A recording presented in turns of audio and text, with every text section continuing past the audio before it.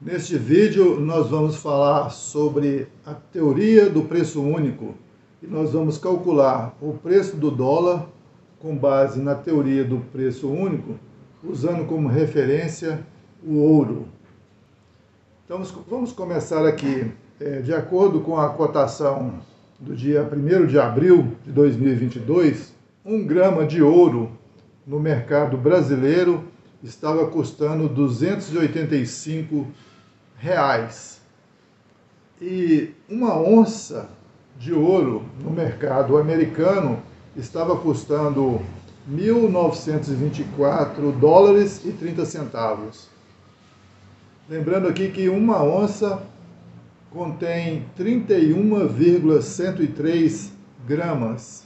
Então, no caso aqui, é, um grama de ouro cotado no mercado americano seria o equivalente a 61 dólares e 87 centavos. E para calcular o preço do dólar com base na teoria do preço único, nós temos que observar algumas condições.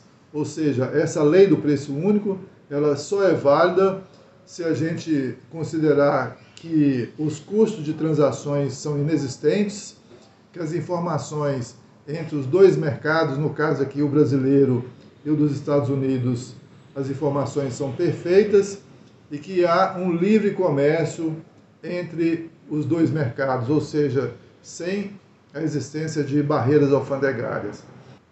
E também considerar que o bem que nós estamos utilizando, ele é homogêneo, ou seja, ele é exatamente igual aqui ou no mercado que a gente está avaliando, que é o mercado dos Estados Unidos.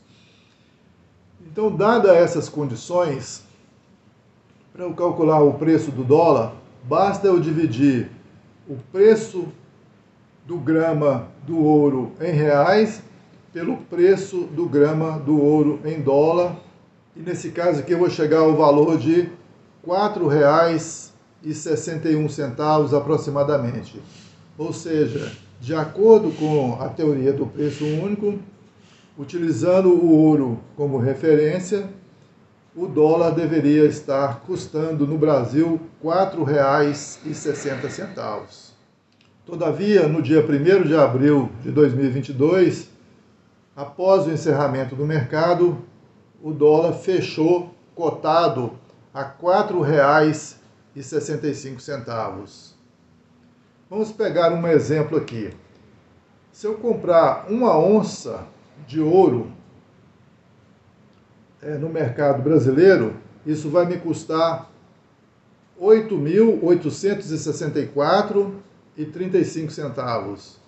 Se eu comprar essa mesma onça de ouro no mercado americano e fazer a conversão do dólar para real, essa onça no mercado americano vai me custar 8.962,43. Uma diferença de R$ 98,07, o que dá uma diferença de 1,11%. Essa teoria permite fazer a comparação do poder de compra entre duas moedas em relação a um determinado ativo e verificar se existe alguma distorção no mercado. No caso aqui, você pode ver que comprando no Brasil, é, o ouro está mais barato do que comprando no mercado americano. Porém, essa diferença aqui é muito pequena. Mas quando essas distorções são grandes, então abre aí um precedente para arbitragem, ou seja, é, os agentes financeiros, os arbitradores, vão comprar esse produto no mercado mais barato e vão vender onde que está mais caro. Com isso, a procura pelo produto no mercado onde ele se encontrar mais barato vai aumentar. E o preço também aumenta de acordo com a procura, e isso tende a um equilíbrio. Então é isso, essa é a teoria do poder do preço único, aliada aí à teoria da paridade do poder de compra, onde você pode avaliar é, se um produto está caro ou se ele está barato, é, fazendo essa comparação aí entre dois mercados. Beleza? Então é isso. Se você gostou desse vídeo, clique aqui embaixo no botão de gostei. Inscreva-se no canal e ative o sininho das notificações para você ser avisado pelo YouTube toda vez que eu postar um vídeo novo. E também compartilhe esse vídeo nas suas redes sociais e com seus amigos. Muito obrigado por assistir, um abraço e até o próximo vídeo.